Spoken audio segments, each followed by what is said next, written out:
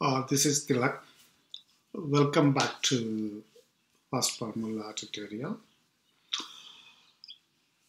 In our last session, we saw like you know how to create a first fast formula.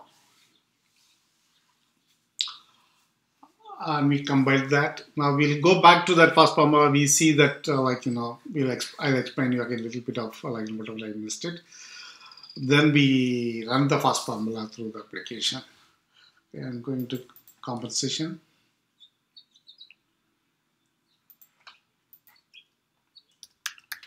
Fast formula, fast formula.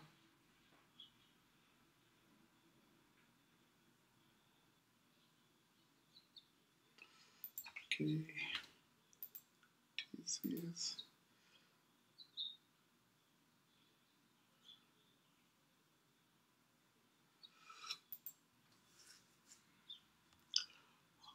I release that display. Okay, I'm coming. Okay, not doing anything here. Let's yeah, I'll just go for the correction. Okay, I'll explain a little bit of like what do. I'll explain these buttons. Okay, in my understanding, saving is you can save it when you are developing a fast formula, then you can continue on editing it. Once you submit, then basically like you, know, you have to go back to that that list then you have to come back to edit that unless you can't edit that. Okay? That's what it is. And uh, what else is that? Okay. We haven't used this part. Like we haven't used any of this uh, like an input values. So you don't need to declare that. It is not necessarily you need to declare that part. And this I'll show you where the, that log will be displayed and the condition is basically I'm making as a three if conditions. Actually, you can put it in one condition as a and with the and conditions. Okay, we'll do that later. This one. What else is the return value? Okay. The thing is like um, I when I was explaining the type, I said that return values are defined in the fast formula type. This fast formula does not care about what variable is written is all care about what is the value is written. It should be either n or y. Nothing else will work. You can use any kind of a variable name. It could be val, it could be value, it could be like output, anything it could be. Okay, that is okay here. That's all here. I'm talking about nothing more. So I cancel that. I go back to that Okay, the one more thing I want to tell you. If a fast formula is uh, developed with uh, legislative data group ID, then you have to use the legislative data group ID to search. Otherwise, it won't come here in the selection. Okay. For example, I'm choosing everything. You are seeing only one fast formula. I'll like you know I'll display it how how it makes the difference. Okay. I'll, okay. Now what we do, we go back to the application, we execute this, run the fast formula. Okay, I'm going here.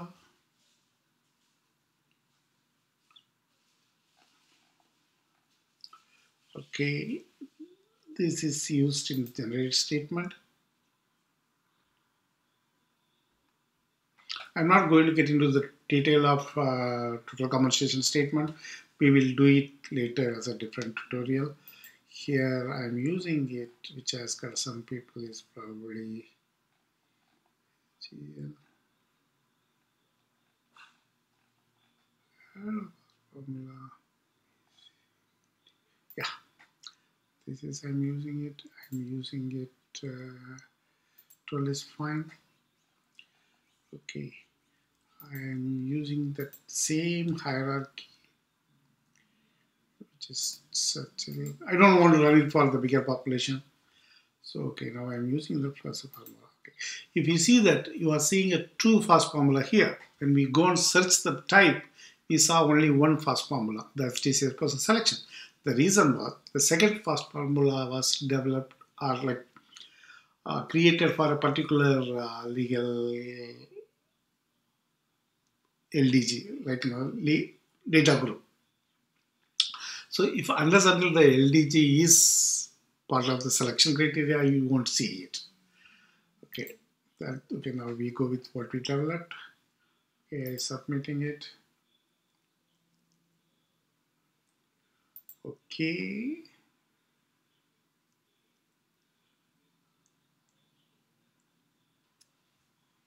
Okay, I'm refreshing it. Let me see. Okay, the processing. The processor processing.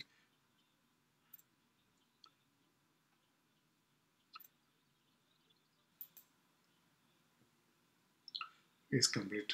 Okay, I will see the how many people processed. I go back to that uh, proper. Okay, report. I'll go to the report.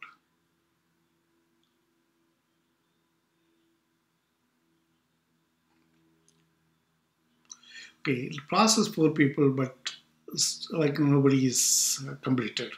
So let's see what happened. Let's uh, let's see we go to that. Okay this is the one I believe I go to the hierarchy that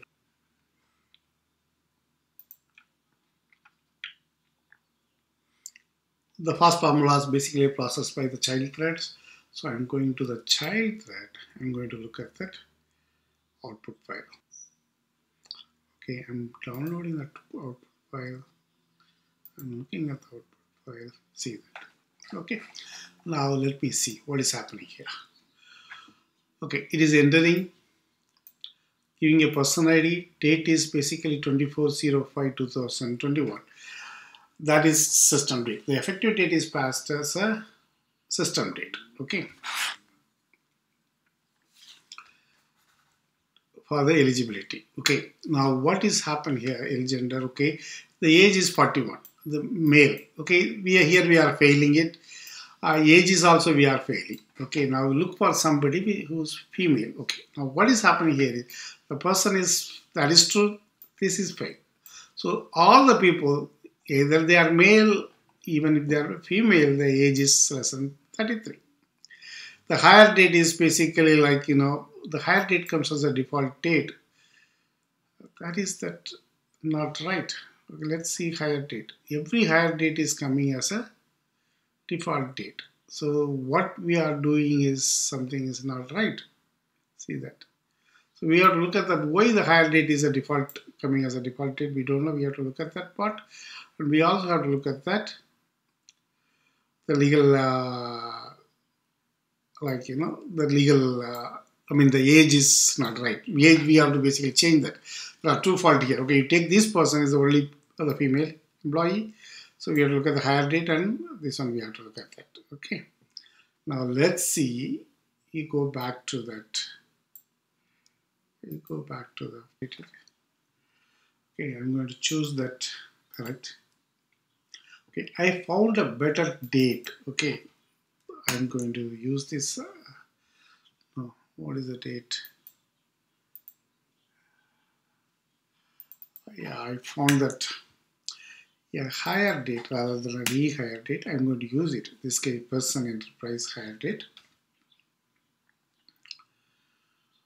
Um, okay then when you are giving a date where is that hand date is? Okay. That is what we are going to use it.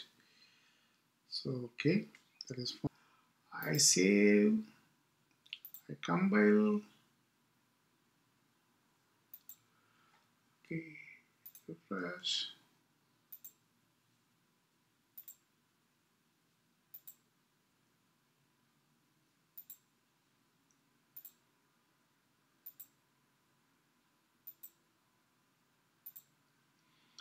okay compiled successfully. Going back. Going back. Sorry. Compensation. Okay I can go from here. That is CWP1 that is uh, run batch process. I'm going to resubmit the previous process. I'm not equal to monitor wage okay you choose this one. This is the parent process the previous process. I'm selecting it.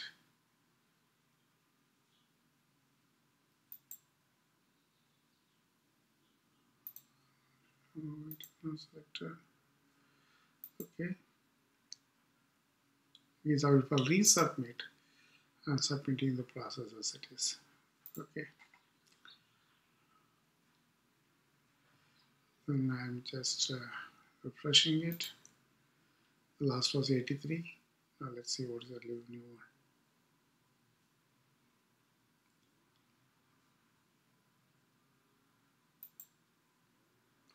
okay 79 so I'm going back to whenever you compile the first formula that will basically trigger a ESS process that will that will do the compilation. Every time when you compile the first formula is automatically trigger the process. Okay I'm going here. I'm interested in my process. Okay it is succeeded. This is where the fast formula executed. 83 okay now let's see. Now I'll go back to that. Okay this is how that basically information is given. Like okay whenever you write a fast formula till you completed your testing use the maximum possible logs once you tested you're you done with the testing, you can either comment it out or remove it, that's fine, but try to do that. See that you know that what data is coming out of here.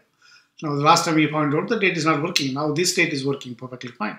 Gender is main, age is, I'm getting everything. The date, the current, the system date is passed in. Okay. Now, come here. Like, okay.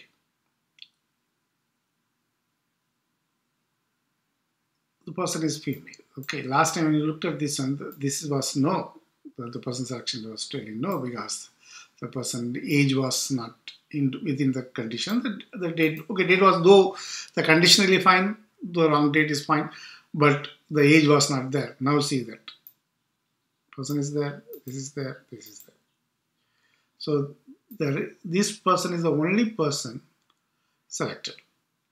Okay, we haven't written the name into that, so all we know is the person ID, and we know that. So out of everybody except else, only one person is processed.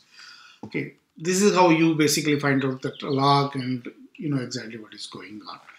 Now I just go and show that how the person is working here. Okay, I'm going back. I'm going to the TCS monitor process to show you the one person is processed fine. okay that is that last process. I'm going to the report. See one person processed who is the person is? Okay this is the person back processed so before we end this end this session let me explain how these database items are working. We already saw that in a previous session that the context decides what fast formula item has to be used okay in this case what happened we are using a 3 3 fast formula uh, per per sex, per per person age, per person replace hire date. Okay, the first one is using effective date person ID. The second one is using effective date person ID. That third one is using person ID. Basically, all the threes are using like if you are summarizing it, the the need of uh, context are person ID and the effective date. As long as these two supported by your by the formula type we are using it, the database items are used database like you know database item can be used. So let me see that. Okay now we have effective date.